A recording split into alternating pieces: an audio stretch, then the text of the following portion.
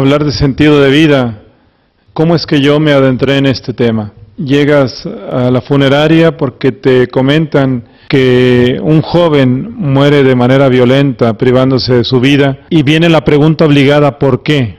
Nos hemos acercado a conocer este fenómeno con el anhelo de revertir la estadística. Un millón de personas en todo el mundo mueren por motivo de suicidio. Me di cuenta ya que el fenómeno suicida se, acerca, se trata aliado a la depresión.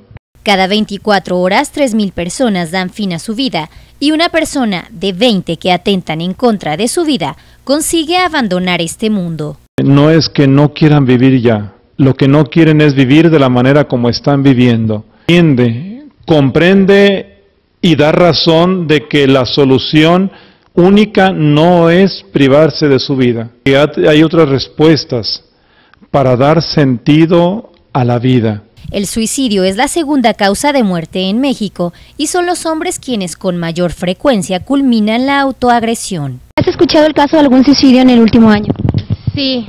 Ah, bueno, hace poquito yo conocí a un muchacho que, que se suicidó. Bueno, la verdad fue muy raro porque era un muchacho así como que muy positivo. Desde el mes de enero hasta el mes de agosto, en el estado de Jalisco, 344 autopsias resultaron positivas ante este hecho según datos del Instituto Jalisciense de Ciencias Forenses. En el año 2014, 39 casos por este tipo de muerte fueron registrados en la región Alto Sur de Jalisco, siendo Tepatitlán el municipio que reporta el mayor número de casos, seguido de Yahualica de González Gallo y Arandas. En Tepatitlán, en los últimos ocho meses, se consumieron 10 casos de un total de 16 en la región Alto Sur, un factor de riesgo es incursionar en las drogas sintéticas, específicamente el cristal, ya que conduce al hombre a ideaciones suicidas. En Tepatitlán, en mi investigación, me di cuenta de que siete de cada diez jóvenes que se habían suicidado estaban ellos en un estado alterado de conciencia por una ingesta de alcohol o de drogas. Estos diez jóvenes que se encontraban en un centro de rehabilitación Siete de estos diez jóvenes, sus padres se habían separado o divorciado.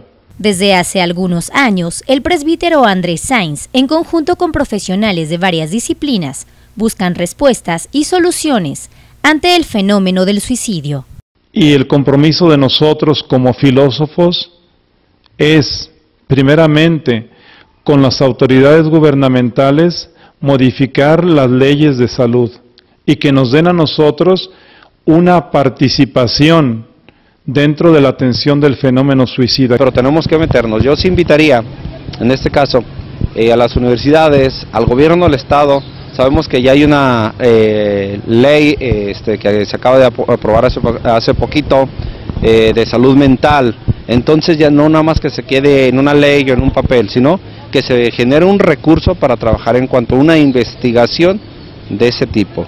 Según Sainz, el fenómeno suicida se puede prevenir cuando éste se investiga de manera seria. Tomando una frase de Friedrich Nietzsche, quien tiene un porqué para vivir puede lograr casi cualquier cómo. Marcela Castellanos para Cuarto de Guerra.